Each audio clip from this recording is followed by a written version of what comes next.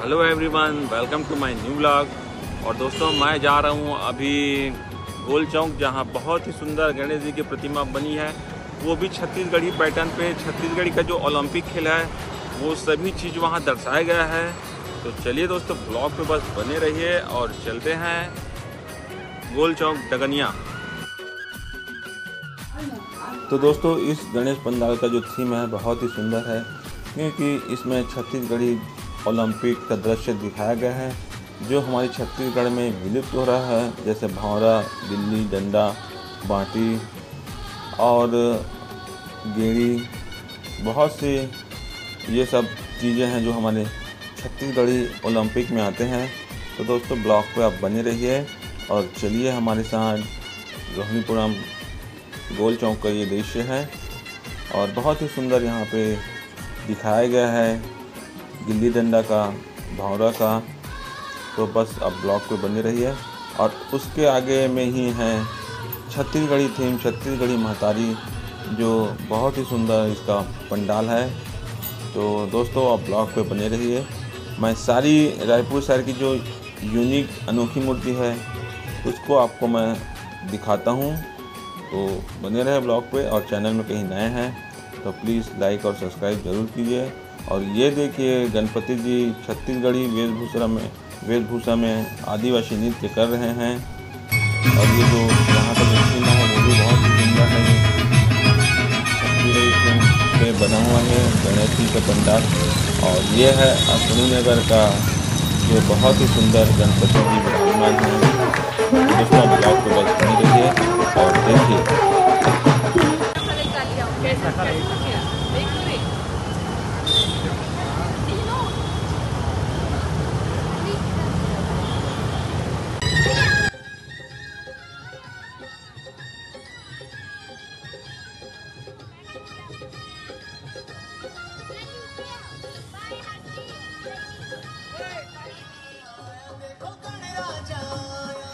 दोस्तों, यहाँ पे गणपति पप्पा वानर रूप में बने हुए हैं।